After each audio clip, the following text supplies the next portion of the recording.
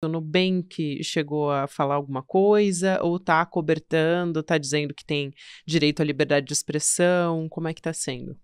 Eu acho que eles foram pegos de surpresa, porque no dia que tudo isso estourou, é, que foi nessa semana, as ações do banco caíram, é, caiu um pouco mais de 1%, o que é uma coisa considerável é, de um dia para o outro, né? Pode parecer pouco, mas é um, um impacto grande.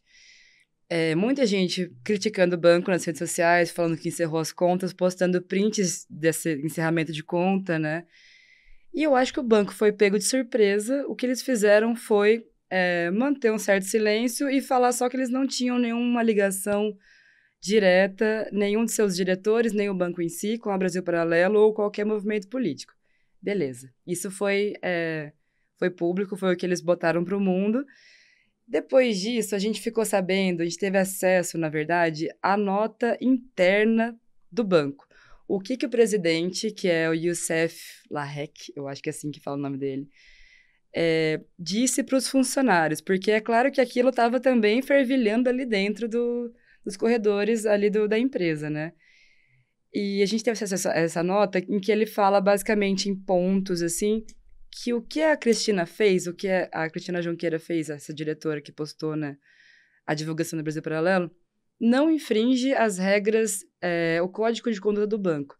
Quer dizer, ele, entre aspas, aí perdão pela palavra, pelo jeito coloquial de falar, mas ele passou um pano, basicamente.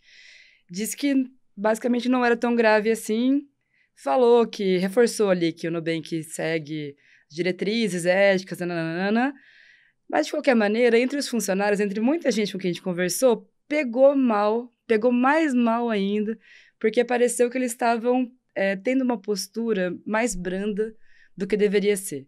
Porque a gente sabe que isso não é só uma opinião que você dá no calor de um momento, é, muitas vezes é, pode ser confundido com uma liberdade de expressão. É um movimento forte que tem um impacto muito grande no Brasil de hoje, na sociedade, enfim. E na Rádio Peão, ali, no, né, entre os funcionários, isso houve uma começou uma cobrança interna para que o banco tivesse uma postura mais incisiva sobre isso.